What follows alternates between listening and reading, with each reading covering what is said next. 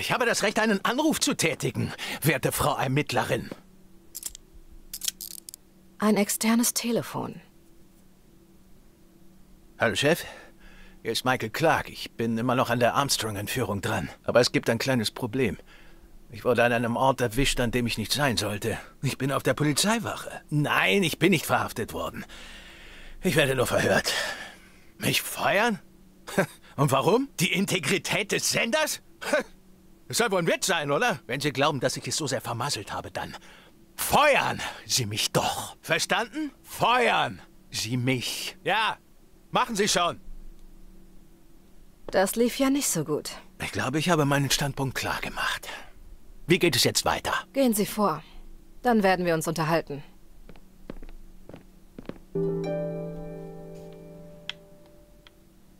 Schauen wir uns aber trotzdem erstmal ein bisschen um hier, ne?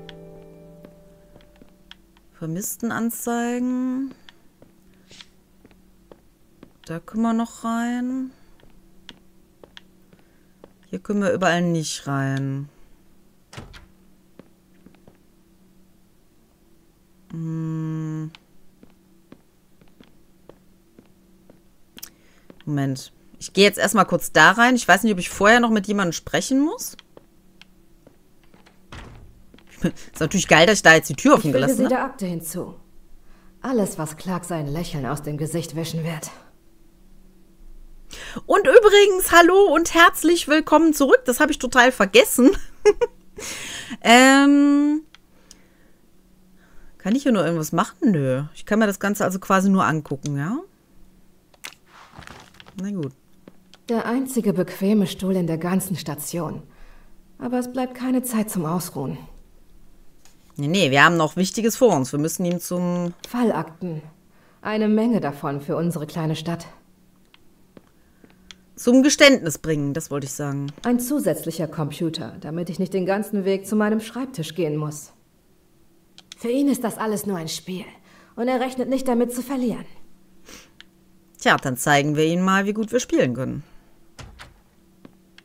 Was man zugegebenermaßen in der letzten Folge nicht mitbekommen hat. Obwohl ich den Trick mit der Lautstärke ja schon mal hatte und schon mal drauf reingefallen bin.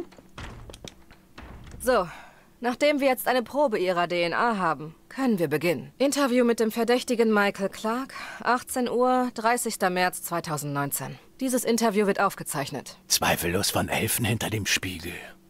Sie wurden an einem Tatort verhaftet, an dem sie das Absperrband der Polizei beschädigt haben. Ich zahle gerne für eine neue Rolle. Das ist ein Vergehen der Klasse A und wird mit einer Geldstrafe von 500 US-Dollar geahndet. Oh, das ist bedauerlich. Zunächst einmal, wo waren Sie in der Nacht, als Daisy Armstrong entführt wurde? Ich habe in meinem Hotelzimmer ferngesehen. Aber ich hatte meinen Polizeiscanner eingeschaltet. Ich hörte die ersten Berichte, dass das kleine Mädchen vermisst wurde. Die Polizei am Tatort hätte mich auf keinen Fall in die Nähe gelassen. Ich habe mir den Wecker gestellt, damit ich gleich am nächsten Morgen an der Story arbeiten konnte und versuchte zu schlafen. Das war kein einfaches Unterfangen. Kann jemand bestätigen, wo Sie waren? Nein, ich fürchte nicht. Ich war allein und schlaflos. Eine traurige Kombination. Und wohl ein schlechtes Alibi. Was haben wir denn da?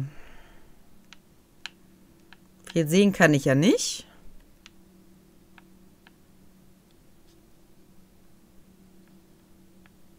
Ja gut. Möchtest du ihn befragen? Ja, warum sollte ich nicht? Sie sagen, Sie sind Journalist. Ein freier Mitarbeiter für Channel 6 News in Boston. Ich verkaufe meine Stories an viele Medienkanäle. Was ist das wichtigste Thema? Der Name des Chefredakteurs, die Kamera natürlich. Ihre Kamera war in Ihrem Pickup. Sie wollten keine Fotos vom Tatort? Ich mag es, die Gegend zuerst zu erkunden. Sobald ich die Story sehe, die ich erzählen möchte, äh, fange ich an, sie zu dokumentieren. Ich kenne keinen Journalisten, der an einem Fall arbeitet, ohne seine Kamera griffbereit zu haben. Er glaubt, er sei unbesiegbar. Ich muss mit seinem Ego spielen. So komme ich an ihn ran. Was machen Sie in den Berkshires? Und was ist Ihre Verbindung zum Fall Armstrong? In den letzten Monaten habe ich an einem großen Fall gearbeitet. Boston Six News hat sich schon auf meine nächste Story gefreut. Die Armstrongs stehen schon seit langem auf meiner Liste möglicher Ziele. Ich habe einen anderen Gang eingelegt, als Daisy entführt wurde und begann über die Armstrongs zu recherchieren.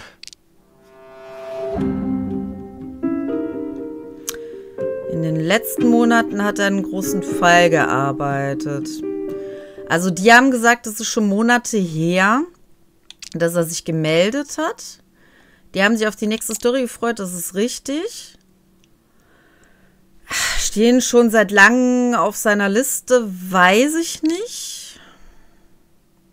Ah, ja, ja, ja, ja, als Daisy entführt wurde, weil er hat nämlich Fotos, wo Daisy noch drauf war.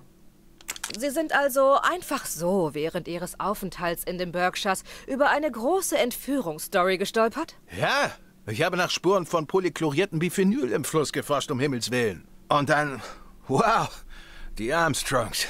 Das ist kein Bericht, den man jeden Tag sieht. Das ist eine Spur. Manchmal hat man einfach Glück. Mhm.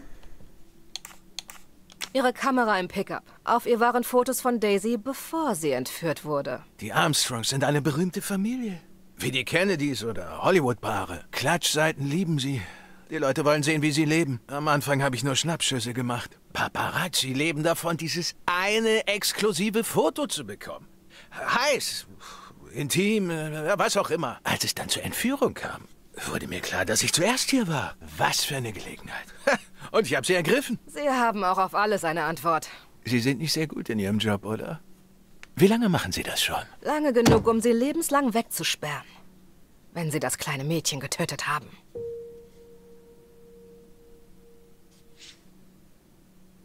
Ja, er sieht extremst von sich eingenommen aus. Kommen wir nun zu den Benzinkanistern und dem, was wir in ihren Taschen gefunden haben, als sie heute hierher gebracht wurden. Das klingt spannend. Erstmal, wovon wus woher wusste er von dem Bunker genau? Woher wussten Sie, dass sich am Ende des Grundstücks ein Bunker befindet? Wie konnte Ihr Forensikteam das übersehen? Sie haben sich auf die Hütte konzentriert. Da draußen war es stockdunkel. Kleinstadtpolizisten mit Kleinstadtgedanken. Ach, tut mir leid, es war unhöflich. Wissen Sie, ich bin ein bisschen wie Sie. Meine Aufgabe ist es, etwas zu finden, das die Zuschauer einer Nachrichtensendung sehen wollen. Sie tun es für die Gerechtigkeit. Ich für das Geld. Ich habe einfach ein besseres Gespür als Sie. Ich weiß, dass Sie lügen, Mr. Clark. Ich bin Ihren Fußspuren von der Hütte aus gefolgt und Sie führten direkt zum Bunker. Er war sehr gut versteckt. Man musste wissen, dass er da war. Denken Sie, was Sie wollen. Stimmt, die Fußspuren. Denen sind wir zwar nicht gefolgt, aber Beginnen wir damit, warum Sie die Hütte aufgesucht haben. Wenn die Polizei daran interessiert ist, bin auch ich daran interessiert. Ähm, gut, die Adresse der Hütte. Wo er die her hat, würde mich auch mal interessieren.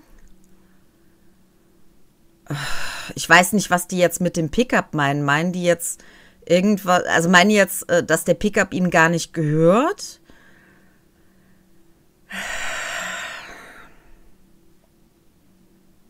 Naja, woher wusste er davon, dass die Hütte da ist? Sagen wir es mal so, ne? Wie haben Sie die Hütte gefunden? Polizeifunk. Ich habe gehört, wie das Forensikteam Anweisungen erhalten hat. Als sie dann am späten Vormittag endlich den Tatort verließen, sprang ich in meinem Pickup und bin den Berg hoch.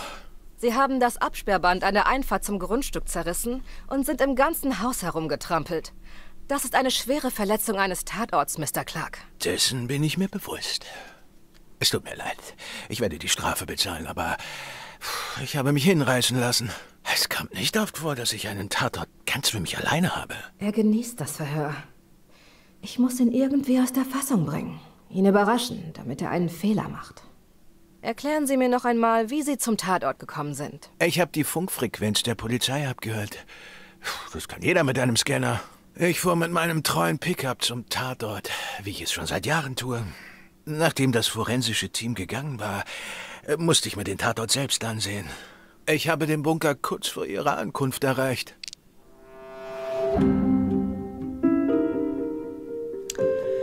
Ich habe die Funkfrequenz mit einem Scanner. Ich nehme mal an, dass die schon den richtigen Scanner meinen.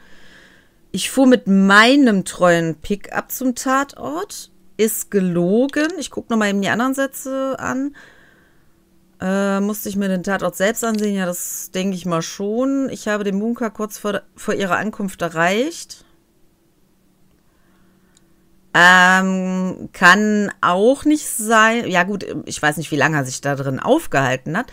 Aber er hat ja den, ähm, den Kanister da schon drin gehabt. Also ich denke mal, mit, mit der Lüge meinen Sie jetzt, dass es nicht sein Pickup ist? Sie sagten, Sie fahren den Pickup schon seit Jahren. Sie haben richtig gehört. Dank ihm verpasse ich nie eine Story. Ähm, Fahrzeugbrief, genau. Sie sagen, dass Sie Ihren Pickup schon seit Jahren benutzen. Aber die Zulassungsbescheinigung ist nicht auf Ihren Namen ausgestellt. Der Truck gehört einem Mann namens Stephen Baker. Okay, ich verstehe nicht, warum der Pickup für Sie so wichtig ist, aber ich schätze, mein Ego war hier etwas im Weg. ja, der Pickup wurde mir von einem Freund geliehen. Ich könnte ihn mir nicht mal mit einem Kredit leisten. Ich glaube, Sie haben ihn gestohlen, Mr. Clark. Für das Gelände hier brauchten Sie einen Wagen mit Allradantrieb. Also haben Sie ihn gestohlen. Beweisen Sie es. Aber während Sie sich auf eine wilde Katz-und-Maus-Jagd begeben, können Sie mich nicht hier festhalten. Ich weiß, dass Clark lügt. Ich muss die gesamte Abfolge der Ereignisse rekonstruieren, um zu verstehen, was passiert ist. Und keine Sorge, die können ihn erstmal eine Weile festhalten.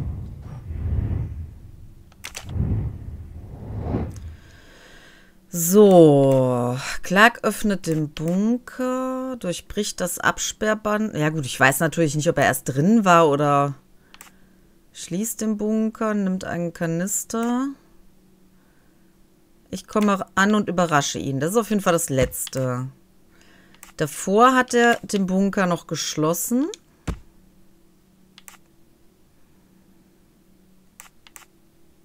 Wirft den Benzinkanister in den Bunker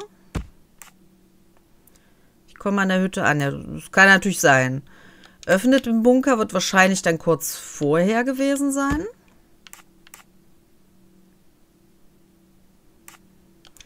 Vermute mal, dass er als erstes dann das Absperrband äh, durchtrennt hat und drin wohl mal geguckt hat.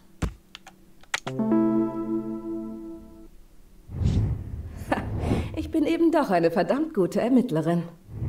Ich werde Ihnen sagen, was wirklich passiert ist. Sie haben gewartet, bis die Spurensicherung weg war und sind dann mit Ihrem wahrscheinlich gestohlenen Pickup zum Tatort gekommen. Sie haben einen Benzinkanister aus Ihrem Wagen geholt. Sie sind dann in die Hütte gegangen, um nachzusehen, ob Daisy gefunden wurde. Dann sind sie direkt zum Bunker gegangen, um zu sehen, ob er entdeckt wurde und haben geplant, ihn in Brand zu setzen und alle Beweise darin zu vernichten. Bevor sie das Feuer legen konnten, hörten sie mich kommen. Also ließen sie eilig ihren Benzinkanister zurück und schlossen die Luke. Sie dachten, ich könnte den Bunker nicht öffnen. Wenn ich sie nicht gefunden hätte, hätten sie wohl auch die Hütte niedergebrannt. Ich werde mich nicht über sie lustig machen oder darüber, wie sie mein Verhör gehandhabt haben. Sie sind offensichtlich noch sehr neu in diesem Job. Ich schwöre, ich sag die Wahrheit. Ich wusste nicht, dass der Bunker da war, bis Sie auftauchten. Ich scheine Ihren gesamten Polizeiapparat übertrumpft zu haben. Wenn ich die DNA-Ergebnisse aus dem Bunker habe, werden wir dieses Gespräch fortsetzen. Sie haben überhaupt keine konkreten Beweise gegen mich. Die Laborergebnisse werden bald da sein. Damit werden Sie nicht durchkommen. Sehen Sie diesen Anruf? Das ist Ihr Haftbefehl und ein Ticket direkt ins Gefängnis. Ich bin gleich wieder da.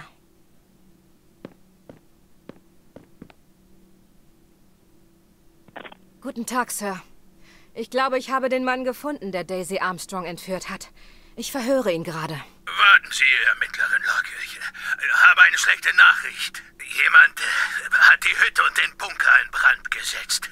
Die Feuerwehr ist vor Ort, aber sie sagt, dass es zu spät ist. Das ist unmöglich. Mein Verdächtiger ist schon den ganzen Abend mit mir im Verhörraum gewesen. Wir können ihn nicht festhalten. Suzanne Moreau.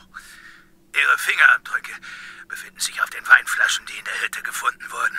Wir haben auch die Fingerabdrücke einer unbekannten Person gefunden. Aber sie stimmen nicht mit denen ihres Verdächtigen überein. Sir, bei allem Respekt, ich bin überzeugt, dass Michael Clark etwas damit zu tun hat. Ermittlerin Locke, ich bin bereits nachsichtig mit Ihnen. Aber wir können Ihren Verdächtigen nicht festhalten, nur weil Sie von seiner Schuld überzeugt sind. Wir haben Beweise, dass Susan mit einem Komplizen Noah Garrity zusammengearbeitet hat. Befehle Ihnen, den Reporter freizulassen und diese Moreau zu verhaften. Lassen Sie mich nur noch meine letzte Spur überprüfen. Die DNA-Analyse des Haares, das im Bunkertresor gefunden wurde. Die Ergebnisse sind gerade eingetroffen. Ich weiß, wie schwer das ist. Ich... Okay, holen Sie die DNA-Ergebnisse. Ermittlerin Locke, ich gebe Ihnen maximal eine Stunde Zeit. Dann schließen Sie die Akte und verhaften Suzanne Moreau. Vielen Dank, Sir. Hm. Muss ich die jetzt so holen oder muss ich. Äh kann ich die am PC holen? Ich weiß ja nicht. Also, ich habe so verstanden, dass sie die wohl am Handy Ein hat. zusätzlicher Computer, damit ich nicht den ganzen Weg zu meinem Schreibtisch gehen muss. Moment, was sagt er jetzt? Frage Clark nach seinen Komplizen. Steht aber nichts von den Ergebnissen. Okay. Wen haben Sie vorhin angerufen? Eine Redakteurin der Boston Six News. Eine Redakteurin, die Sie wiederholt aufgefordert haben, Sie zu feuern? Das war Ihr Komplize, nicht wahr? Sie haben ihm gesagt, er soll das Feuer legen. Ein Komplize?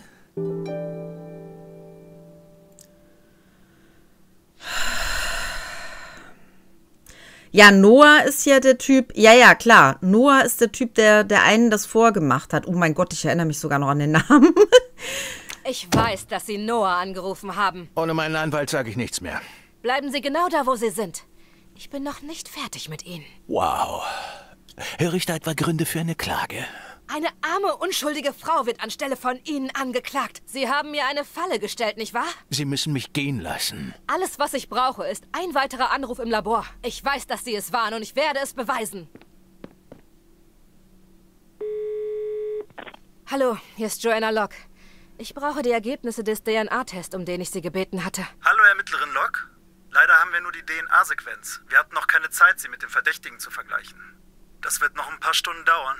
Tut mir leid, aber Sie sind nicht die einzige Person auf der Warteliste. Schicken Sie Ihre Analyse an meinen Computer im Büro. Ich werde den Vergleich selbst vornehmen. Dafür brauche ich eine Genehmigung. Ich habe einen Mörder, der frei herumlaufen wird, wenn ich diese Ergebnisse nicht sofort bekomme. Ist ja schon gut. Wir schicken Ihnen die Ergebnisse sofort zu. Aber ich muss das protokollieren. Das ist meine letzte Chance.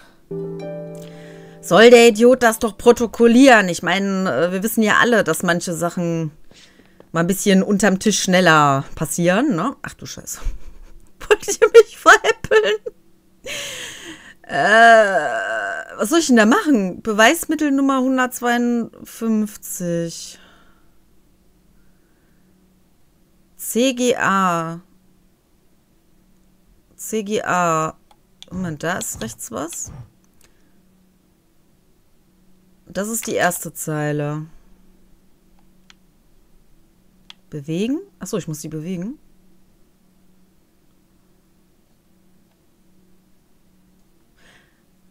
Ach so. Ah, okay, jetzt verstehe ich das. Und lass mich raten, das ist auch ihr Haar.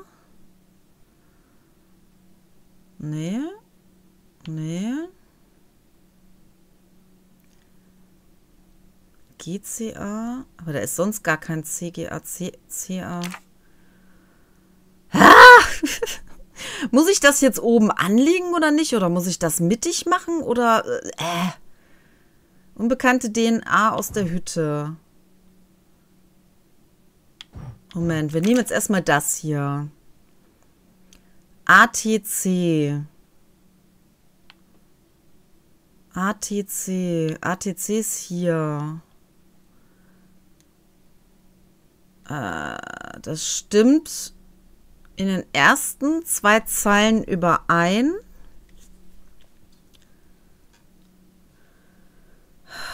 Ich habe doch keine Ahnung von dem ganzen Kram. Es wäre schön, wenn wir wenigstens einen Hinweis bekommen würden. Ähm, DNA aus der Hütte. John Armstrong. Das wäre der Vater. Aber der Vater ist so aufgebracht. Armstrong war doch der Vater, ne? Also Clark ist auf jeden Fall hier äh, das Arschloch hier. Äh, der Journalist, so. Äh, CCGA. Dreimal C ist hier gar nicht drin. Oder muss ich hier unten auf Bestätigen drücken? Nee, ne? Nee, okay. ich dachte schon. Das wäre auch zu einfach. Ähm, CGA. Ja. ähm, die ersten zwei Zeilen, die würden übereinstimmen hier. CGA? Nee, doch nicht. Nur die eine Zeile würde übereinstimmen. Mist. CGA. Die würden auch nicht übereinstimmen. CGA. Das stimmt auch nicht überein. Hm. Ja gut, von Michael Clark sollte das auch eigentlich nicht sein, ne? TTA. TTA wäre hier. Ich sag's ja nicht gerne. Ich sag's wirklich nicht gerne. Oh, nein. Nein. Suzanne. Ich verstehe das nicht. Ich war mir sicher, dass es Clarks Haar sein würde. Ich muss ihn gehen lassen.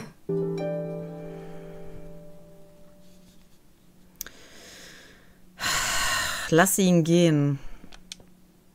Will ich aber nicht. Das riecht man drei Kilometer gegen den Wind, dass der Dreck am Stecken hat.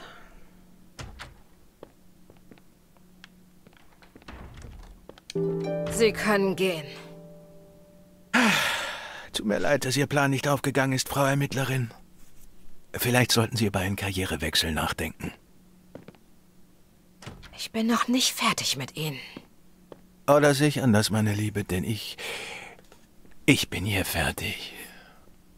Ich hatte keine andere Wahl, als zum Haus der Armstrongs zurückzukehren und Suzanne Moreau zu verhaften.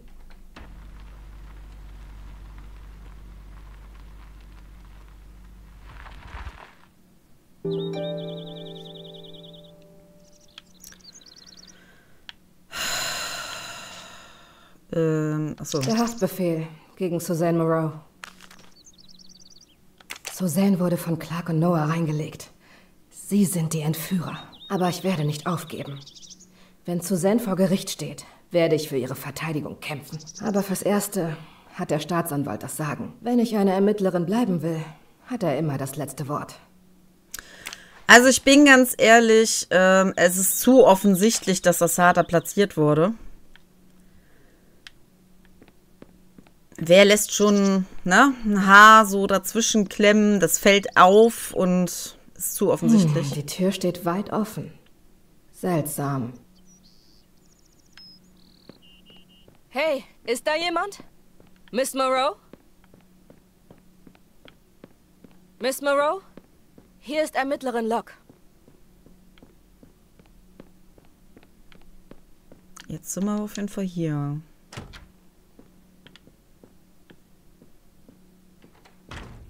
Ich hab's geahnt.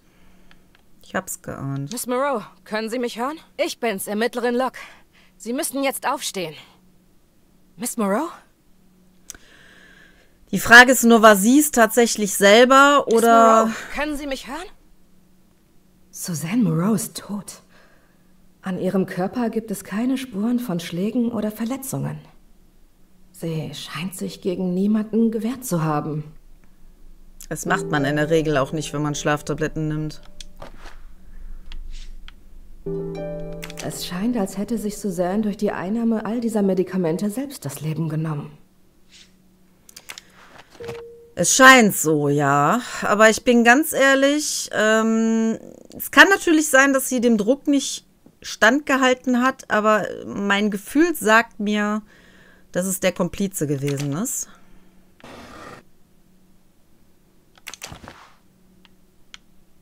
Buch bringt uns ja auch nicht weiter. Hat sie, ach so, hat sie noch irgendwas ins Tagebuch geschrieben vielleicht? Guck noch mal, ob hier unten noch irgendwas Neues drin ist. Stimmt, wir brauchen den Schlüssel ja sowieso. Nee, das ist gar nicht der Schlüssel, ne? Äh ach, wir haben den Schlüssel noch? Okay. Susans Tagebuch ist verschwunden. Mhm. Okay. Jetzt bin ich überzeugt davon, dass sie es nicht selber gemacht hat. Sehr geehrte Mrs. Moreau, bitte entschuldigen Sie diesen Brief. Dr. Adams war mehrere Tage lang nicht in der Lage, Sie zu erreichen.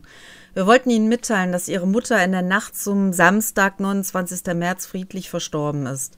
Bitte setzen Sie sich mit uns in Verbindung, wenn Sie Hilfe bei den Vorbereitungen für Ihre Beerdigung wünschen oder wenn wir sonst etwas für Sie tun können. Mit freundlichen Grüßen, Adelaide Franklin, Verwaltungsangestellte steht kein. Naja, gut, es muss halt vom 29.03. passiert sein. Suzanne hat die Wahrheit über ihre Mutter gesagt. Oh Gott, ich muss mir das aufschreiben. ich weiß, ich weiß. Ich schreibe mir das auf mit dem 29.03. Äh, Brief verstorben. Weil das kann natürlich sein, dass da irgendwas nicht passt. Ich weiß es nicht. Noch bin ich nicht so weit. Ich weiß auch gar nicht, wie viel wir heute eigentlich haben. Ich habe Daisy getötet. Ich hatte Angst, dass sie es verraten würde, wenn ich sie lebend aus der Hütte lasse. Das ist totaler Quatsch. Ich kann nicht mit mir selbst und dem, was ich getan habe, leben. Das war das Kindermädchen. Sie ist für den Tod des armen Kindes verurteilt. Wie lang kann ein Kindermädchen sowas tun? Ich hoffe, die Polizei sperrt sie lebenslang an. Miro verdient es nicht zu leben. Ja, gut, äh, die haben alle Paragraphen davor. Also wahrscheinlich werden das die gleichen Trolle sein, die irgendwie angestellt wurden. Oder einer von den beiden hat es gemacht, um die halt eben fertig zu machen.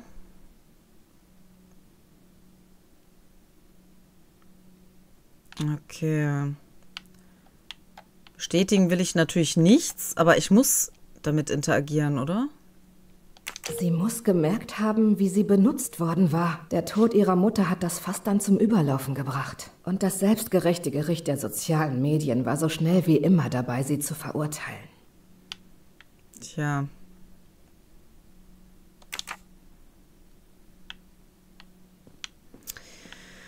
Die Frage ist jetzt nur, wo ist jetzt ihr Tagebuch? Da kann man nichts anderes mehr nehmen. Und warum steht die Tür unten offen? Das wäre dann noch die nächste Frage, die zu klären wäre.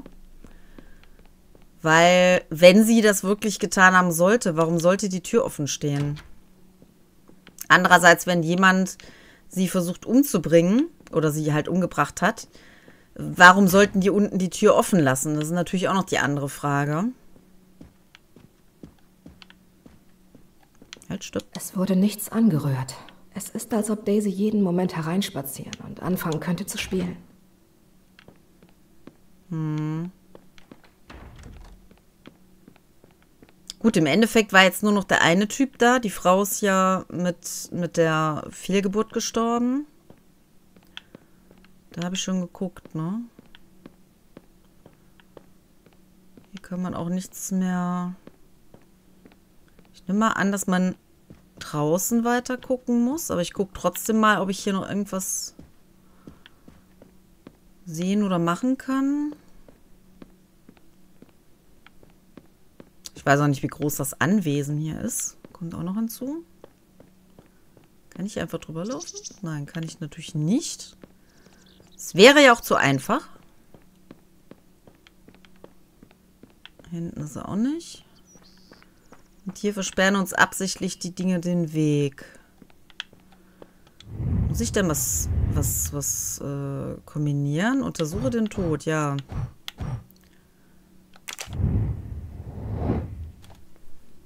Ich muss verstehen, was passiert ist. Ein Hinweis fehlt uns noch, aber der müsste dann ja theoretischerweise in ihrem Zimmer sein.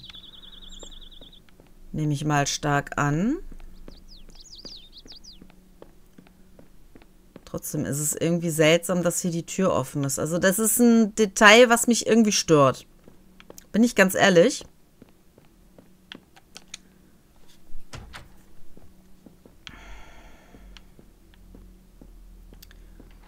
Das haben wir beides. Öffnen können wir hier auch nichts.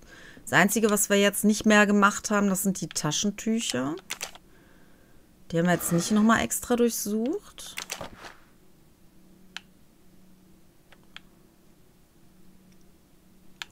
Ja, das sind halt nur die Taschentücher, so wie es aussieht, ne? Nichts draufgeschrieben oder versteckt oder so. Da können wir jetzt auch nichts Neues mehr mitmachen. Hat man da noch irgendwas? Ja gut, das Ding... Ihre Brille ist verschwunden. Ach so. Okay. Ich habe den Staatsanwalt angerufen, um ihn zu informieren. Hier spricht Ermittlerin Locke, Sir. Ich bin im Haus der Armstrongs. Haben Sie Suzanne Moreau verhaftet? Sie ist tot, Sir.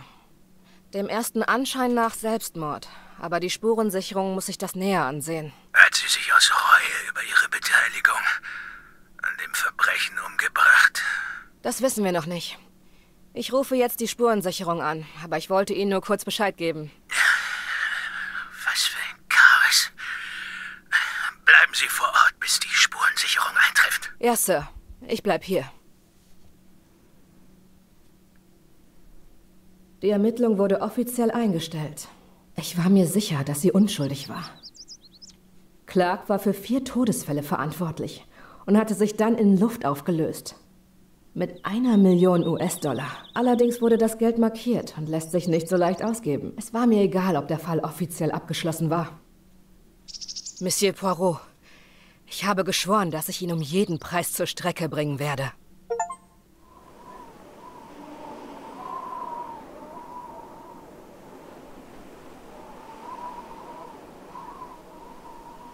Ich wartete auf das Team der Spurensicherung und ging dann auf die Wache, um meinen Bericht zu schreiben. Ich war offiziell vom Fall abgezogen. Merci, Mademoiselle, aber äh, das kann natürlich nicht der Abschluss Ihrer Geschichte sein. Darf ich Sie etwas fragen? Natürlich. Chat war nur Mademoiselle Moreaus Freund. Chat war Michael Clark, der Reporter. Ich kann mich jetzt nicht mehr so an den erinnern, aber nee, so sah er definitiv nicht aus. Der Freund von Suzanne Moreau, der sie manipuliert und die Hütte niedergebrannt hat. War das Ratchet? Nein, das war ein Komplize. Clark, der falsche Journalist, war der Anführer. Michael Clark, der Reporter, war Ratchet? Ganz genau. Ich war die einzige Strafverfolgungsbeamte, die Clark befragt hat. Ich wusste, dass dies nicht seine erste Entführung war. Sie haben nach ähnlichen Fällen gesucht. Das, was die Amerikaner MMGs nennen. Mittel, Motiv und Gelegenheit. Genau. Ich habe nach jemand Offensichtlichem gesucht. Jemand, der am Rande eines Entführungsfalls steht. Eine offensichtliche Person. Jemand, der die Ermittlungen im Auge behält. Ein unschuldiger Zeuge, ein besorgter Nachbar, sogar ein anderer Reporter. Und äh, schließlich haben Sie einen Namen hinter einem Pseudonym gefunden. Ja, ich habe einen Namen gefunden. Cassetti. Der richtige Name. Der richtige Name des Mannes, den Sie Ratchet nennen, ist Cassetti. Das erklärt vieles, Mademoiselle, aber nicht alles. Das erklärt, warum sie unsere Hauptverdächtige ist. Aber nicht, wie sie in diesen Zug gekommen ist. Sehen Sie? Sie ist ganz blass geworden. Ich. Ich weiß nicht, was mit mir los ist. Entschuldigen Sie, Monsieur Poirot. Ich fühle mich nicht sonderlich wohl. Sie sind erschöpft und spüren immer noch die Wirkung des Medikaments. Bleiben Sie bei uns, Mademoiselle. Nur noch eine weitere Frage. Ich muss wissen, wo Sie sich zuletzt aufgehalten haben. Ich habe mir ein Ticket gekauft und den Zug unauffällig betreten. Das habe ich mir gedacht. Sind Sie direkt in dieses Zimmer gekommen? Ja. Ja, und abgesehen von ein paar vorsichtigen Ausflügen zu den Damentoiletten gestern, habe ich diesen Raum nie verlassen. Ich wollte nicht von Ratchet entdeckt werden.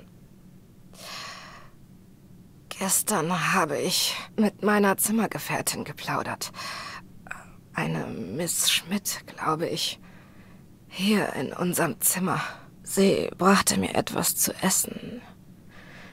Ich wurde sehr schläfrig und nickte ein.